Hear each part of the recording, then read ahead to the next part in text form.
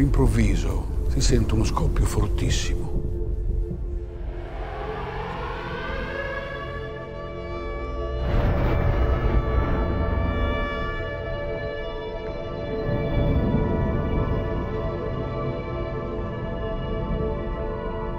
A chi sarà toccato questa volta?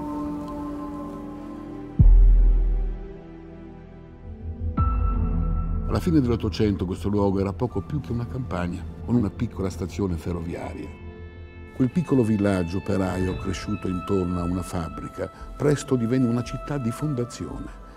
Evento unico nella storia della progettazione di mio padre. L'atto creativo è un atto assolutamente, diciamo, artistico, sì, lo dice lui anche. Io affermo che non è vero che la scienza delle costruzioni determini sempre una soluzione esteticamente soddisfacente.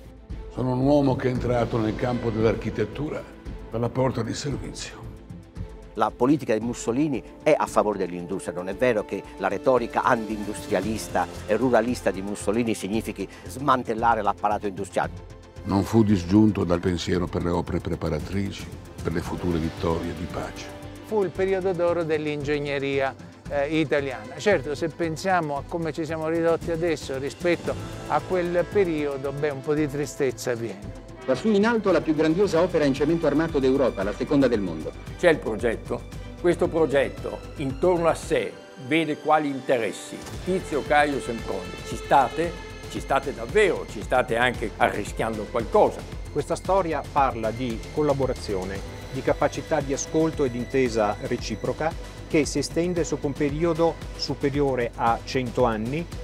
Una sorta di sovrapposizione tra il villaggio e la fabbrica. Crespi d'Adda, Valdagno, Colleferro, Ivrea. In queste città eh, domina l'etica del lavoro.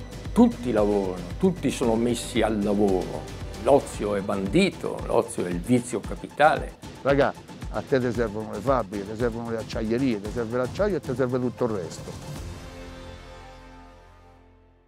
No, no, no. Non c'è liberazione nella povertà.